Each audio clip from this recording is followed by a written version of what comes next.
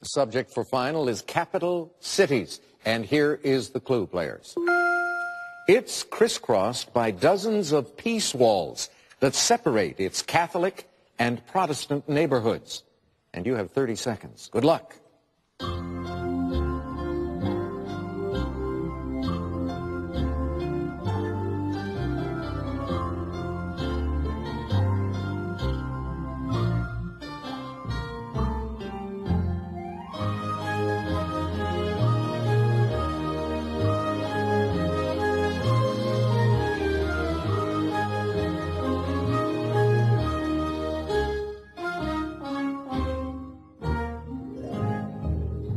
Tori, I hope you got it in before time ran out on you. We start with you first. You had 1,600.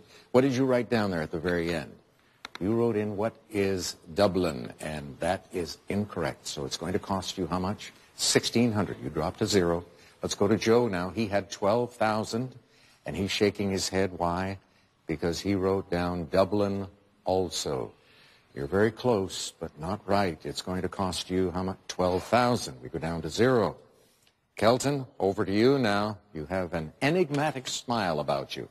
And you wrote down Dublin also. No, the correct response is Belfast, Northern Ireland. And what did it cost Kelton? 16,400. That means he drops to zero, and that means three zeros there. What that means is we have no winner today.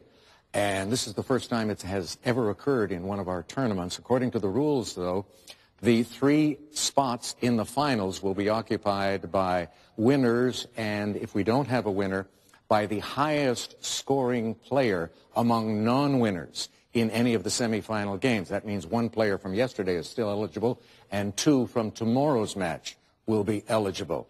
We're going to say goodbye. It's going to be an exciting end of the week. We'll see you then. Long.